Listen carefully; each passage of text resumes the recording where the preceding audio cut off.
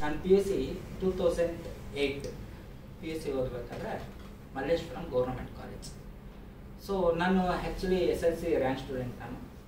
Unexpectedly ಬೆಂಗಳೂರಿಗೆ ಬರೋಂಗಾಯ್ತು, ಬಂದೆ.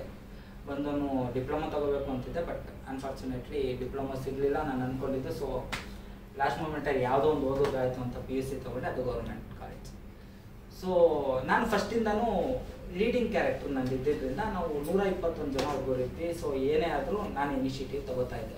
Only boys college ಅದು ಗೌರ್ಮೆಂಟ್ ಬಾಯ್ಸ್ ಕಾಲೇಜ್ ಒಂದಿನ ಏನಾಯಿತು ಪೇರೆಂಟ್ಸ್ ಮೀಟಿಂಗ್ ಆಗೋದು ನಾನು ಹೇಗೆ ಅಂತಂದರೆ ಮನೆಗೂ ಬಂದು ಸತ್ಯ ಹೇಳ್ತಾ ಇದ್ದೆ. ಸೊ ಮನೆಗೆ ಬಂದೆ. ನಮ್ಮ ತಂದೆ ನನಗೆ ಮಾತಾಡ್ಸ್ತಿರ್ಲಿಲ್ಲ ಬಿಕಾಸ್ ಆ ಮೂಮೆಂಟಲ್ಲಿ ಇರ್ತಾವಲ್ಲ, ಹುಡುಗರು ಹೆಂಗಿರ್ತಾರೆ ಅಂತ. ಸೊ ನಮ್ಮ ತಂದೆ ಮಾತಾಡ್ಸ್ತಿರ್ಲಿಲ್ಲ. ಮನೆಗೆ ಬಂದೆ, ಅಮ್ಮಂಗೆ ಹೇಳಿದೆ, ಅಮ್ಮ, ನಾಳೆ ಪೇರೆಂಟ್ಸ್ ಮೀಟಿಂಗ್ ಇದೆ ಅಪ್ಪ ನಮ್ಮ ಅಪ್ಪ, ಯಾವತ್ತೂ ಎಲ್ಗೂ ಬಂದವರಲ್ಲ ಬಿಕಾಸ್ ನಾನು ಬೆಳೆದಿದ್ದೆಲ್ಲ ನಮ್ಮ ತಾಯಿ ಅವ್ರ ಮನೇಲಿ ನಮ್ಮ ತಾಯಿ ತವ್ರ ಮನೇಲಿ ನಾನು ಬೆಳೆದಿದ್ದೆ. ಸೊ ಟೆಂತ್ ಮುಗಿಸ್ಕೊಂಡು ನಾನು ಇಲ್ಲಿಗೆ ಬಂದೆ. ನಮ್ಮ ತಂದೆ ತಾಯಿ ಆಲ್ರೆಡಿ ಇಲ್ಲಿ ಬೆಂಗಳೂರಲ್ಲಿತ್ತು so next day physics lab physics ಲ್ಯಾಬಲ್ಲಿ ಇದ್ದೀನಿ. ನಮ್ಮ ತಂದೆ ಬಂದರು. ಫಿಸಿಕ್ಸ್ ಮೇಡಮ್ ಅಲ್ಲೇ ಇದ್ದರು ಪರಿಚಯ ಮಾಡಿಸ್ತೆ ನಮ್ಮ ತಂದೆ ಮೇಡಮ್ ಅಂತ. ಓಕೆ ಕೂತ್ಕೊಂಡು ರಿಜಿಸ್ಟ್ರು ಮಾರ್ಕ್ಸ್ ತೆಗ್ದಿರೋದು ಓಪನ್ ಮಾಡಿದ್ರು. ನೈಂಟಿಗೆ ಏಯ್ಟ್ ಮಾರ್ಕ್ಸ್ ತೆಗ್ದಿದೆ. ತೊಂಬತ್ತಕ್ಕೆ ಎಂಟು ಮಾರ್ಕ್ಸ್ ಡೈರೆಕ್ಟ್ ನಮ್ಮ ತಂದೆಗೆ ಹೇಳಿದವ್ರು ಒಂದೇ ಮಾತು ನಿಮ್ಮ ಮಗ ಶೋಕಿ ಬರ್ತಾನೆ ಕಾಲೇಜ್ಗೆ. ನಮ್ಮ ತಂದೆ ಅದೇ ಫಸ್ಟ್ ಟೈಮ್ ಬಂದಿರೋ ಪಾಪ. ಅವತ್ತು ಪೇರೆಂಟ್ಸ್ ಮೀಟಿಂಗ್ ಯಾವತ್ತು ನಾನು ಕರೆದೋನಲ್ಲ ಆಮೇಲೆ ಅವ್ರು ಬರೋಂಥ ಸಿಚುವೇಶನ್ ಇದೆ ಬಿಕಾಸ್ ನಾನು ಬೆಳೆದಿದ್ದೆಲ್ಲ ನಮ್ಮ ತಾಯಿಯವ್ರ ತವ್ರ ಮನೇಲಿ ನಮ್ಮ ಮಾವ ನೋಡ್ಕೊತಿದ್ರು ನಾನು ಅಲ್ಲೆಲ್ಲ ರ್ಯಾಂಕ್ ಸ್ಟೂಡೆಂಟ್ ಬಟ್ ಇಲ್ಲಿ ಬಂದಾಗ ಸ್ವಲ್ಪ ಬೆಂಗಳೂರು ಅಟ್ಮಾಸ್ಫಿಯರ್ ಚೇಂಜ್ ಮಾಡ್ತು. ಸೊ ನಮ್ಮ ತಂದೆಗೆ ಹೇಳಿದ್ದು ನಿಮ್ಮ ಮಗ ಶೋಕಿಗೆ ಬರ್ತಾನೆ ಕಾಲೇಜ್ಗೆ ಕ್ಲಾಸ್ಗೆ ಅಟೆಂಡ್ ಮಾಡಲ್ಲ ಯಾವಾಗಲೂ ಹೊರಗಡೆ ಇರ್ತಾನೆ. ಅಂತ. ನಮ್ಮ ತಂದೆ ಭಾಳ ನೋವಾಗ್ಬಿಡುತ್ತೆ. ಯಾಕಂದರೆ ಕೆಲ್ಸಕ್ಕೆ ಬೇರೆ ರಜಾಕ್ ಬಂದಿದ್ರು. ನಮ್ಮದು ಮಿಡಲ್ ಕ್ಲಾಸ್ ಕುಟುಂಬ. ಸೊ ಕೆಲ್ಸಕ್ಕೆ ಬೇರೆ ರಜಾಗೆ ಬಂದಿದ್ರು ನಮ್ಮ ತಂದೆ ಭಾಳ ಬೇಜಾರಾಯಿತು ಹೊರಗಡೆ ಬಂದರು. ನಮ್ಮ ತಂದೆಗೆ ಹೇಳಿದೆ ಅಪ್ಪ ಬಾ ಕನ್ನಡ ಮಾಸ್ಟರ್ ಹತ್ರ ಕರ್ಕೊಂಡೋಗ್ತೆ ಕನ್ನಡ ಮಾಸ್ಟ್ರು ನಾನು ಕನ್ನಡ ತುಂಬ ಚೆನ್ನಾಗಿ ಓದ್ತಿದ್ದೆ. ಸೊ ಬ್ಯಾಲೆನ್ಸ್ ಮಾಡೋಣ ಅನ್ನೋ ಒಂದು ಮೆಂಟಾಲಿಟಿ ನಂದು. ಇಲ್ಲಿ ಬೈಸ್ಕೊಂಡಿದ್ದೀನಿ ಅಲ್ಲಿ ಒಬ್ಳಿಸ್ಬಿಟ್ಟೆ ಅಲ್ಲಿಗೆ ಅಲ್ಲಿಗೆ ಮ್ಯಾನೇಜ್ ಆಗುತ್ತೆ ಅಂತ.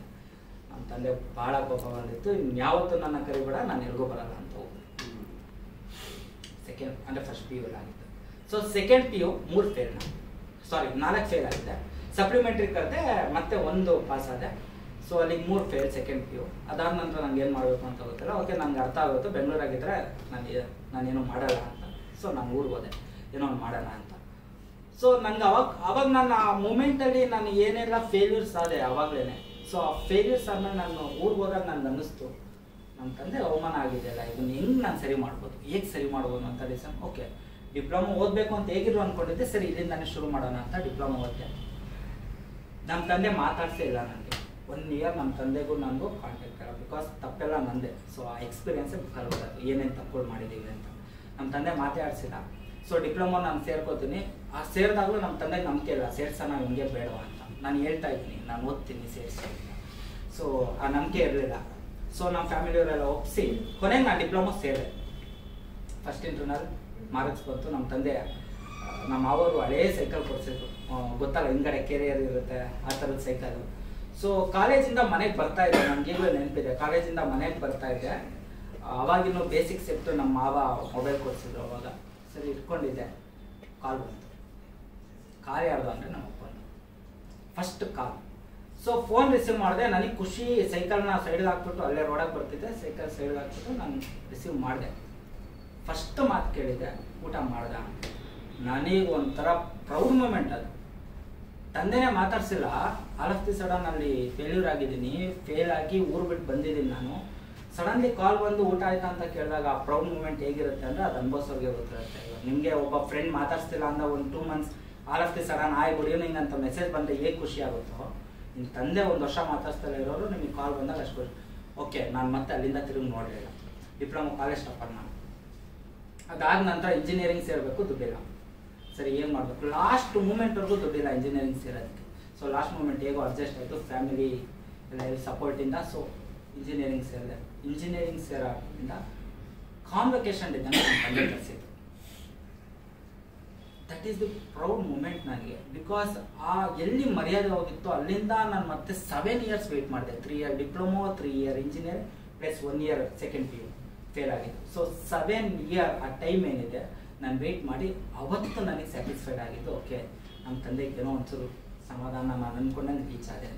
ದಿಸ್ ಇಸ್ ಒನ್ ಇನ್ಸಿಡೆಂಟ್ ಇದರಿಂದ ಏನಂದರೆ ಫೇಲ್ಯೂರ್ ಎಲ್ರಿಗೂ ಆಗುತ್ತೆ. ನಾನು ಮೂರು ಸಬ್ಜೆಕ್ಟ್ ಫೇಲ್ ಎಲ್ಲನೂ ಎಲ್ಲ ಕಳ್ಕೊಂಡು ಕೊನೆಗೆ ಹೋಗಿ ಇವತ್ತು ಏನೋ ಒಂದು ತಪ್ಪು ಮಟ್ಟಿಗೆ ಸಂಪಾದನೆ ಮಾಡಿದ್ವಿ ಸೊ ಪ್ರತಿಯೊಬ್ಬರಿಗೂ ಆ ಲೈಫ್ ಆ ಸಿಚುವೇಶನ್ ಬಂದೇ ಬರುತ್ತೆ.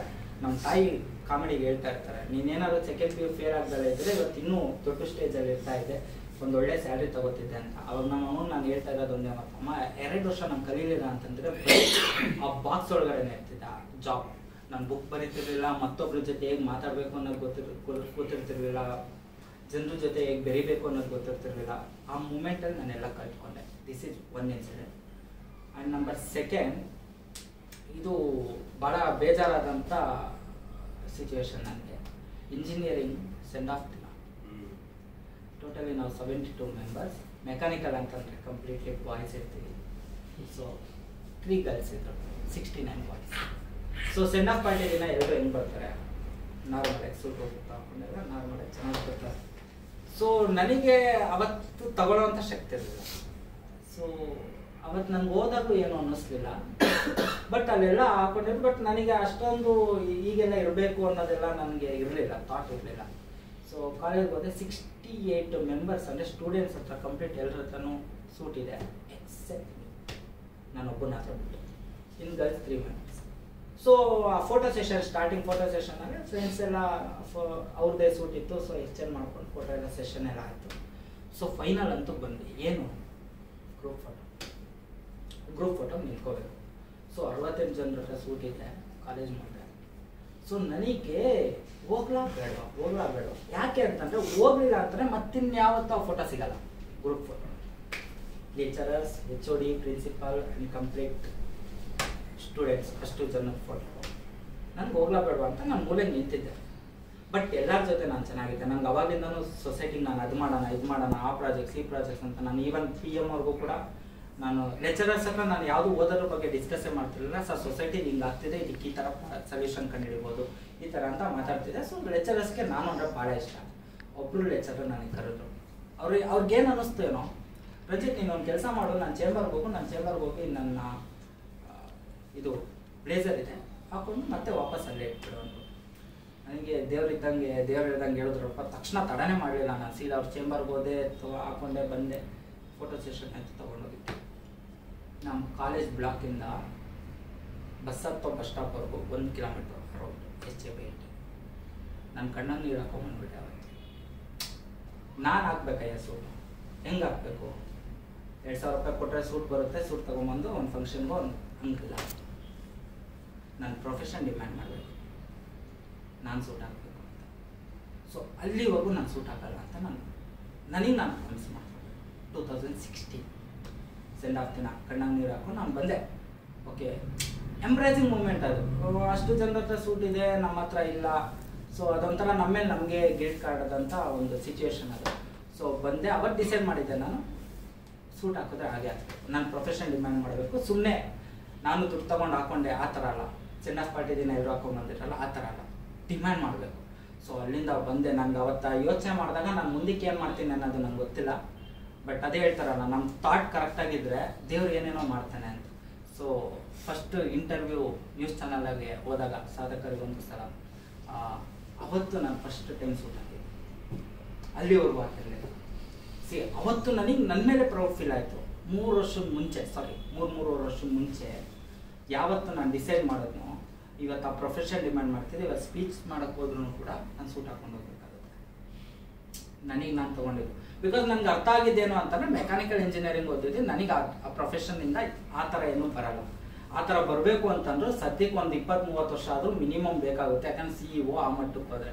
ಇಲ್ಲ ನನಗಿರೋಂಥ ಆಪ್ಷನ್ ಒಂದು ಬಿಸ್ನೆಸ್ ಮಾಡಿ ಯಾವ್ದಾನ ಒಂದು ಆ ಮಟ್ಟಕ್ಕೆ ಹೋಗಾದ್ಮೇಲೆ ಹೇಳಿದ್ರು ನನಗೆ ಅಷ್ಟೊಂದು ಕಾಯೋ ಪೇಷನ್ಸ್ ಇರಲಿಲ್ಲ.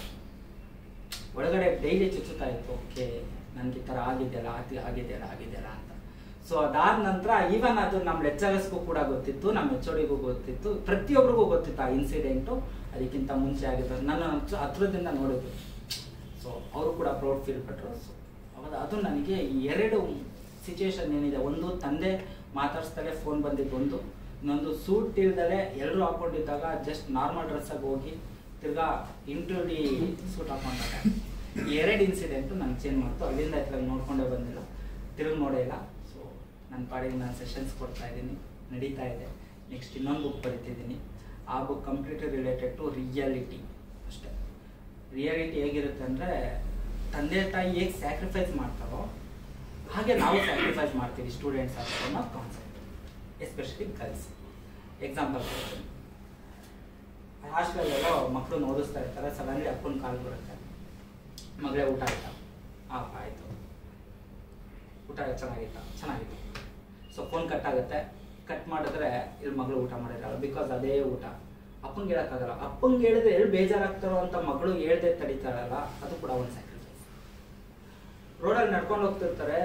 ಪಕ್ಕದಲ್ಲಿ ಮಗಳು ನೋಡ್ತಾಳೆ ಎರಡು ಸಾವಿರ ರೂಪಾಯಿ ಬಟ್ಟೆ ಇರುತ್ತೆ.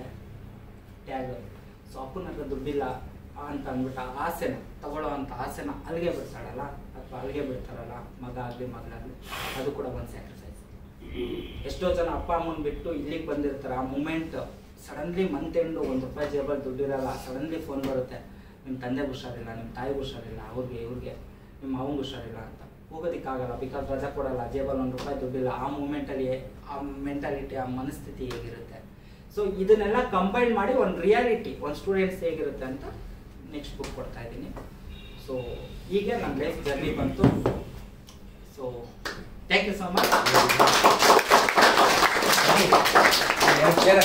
and and ಇನ್ನು ಇವ್ರ ಬಗ್ಗೆ ಹೇಳೋದಾದ್ರೆ ಇವರು ನನಗೀಗೆ ಅವ್ರು ಹೇಳ್ದಂಗೆ ನರಸಿಂಹ ಮುಂದೆ ಸರ್ ಜೊತೆ ಮಾತಾಡ್ತಾ ಅವ್ರು ಹೇಳಿದ್ರು ಈ ಒಬ್ರು ಇದ್ದಾರೆ ತರ ಒಬ್ರು ಇದಾರೆ. ಪ್ರೇಮ್ ಕುಮಾರ್ ಸರ್ ಅಂತ. ಅವ್ರನ್ನ ಕಾಣಿ ಅವ್ರು ನಿಮಗೆ ಒಂದು ದಾರಿ ತೋರಿಸ್ತಾರೆ ಅಂತ ಅಂದ್ರು ಸರಿ. ಖಂಡಿತ ಸರ್ ಖಂಡಿತ. ಸೊ ನಾನು ಫೋನ್ ಮಾಡಿದೆ. ಅವತ್ತಿನ ದಿನ ಸರಿ ಬನ್ನಿ ಅಂತಂದ್ರು ನಾನು ಬಂದೆ. ಫೋರ್ ಫೈವ್ ಮಂತ್ಸ್ ಆಯ್ತು. ಪ್ಲೀಸ್ ಫೋರ್ ಫೈವ್ ಮಂತ್ಸ್ ಆಯ್ತು. ಬಂದೆ.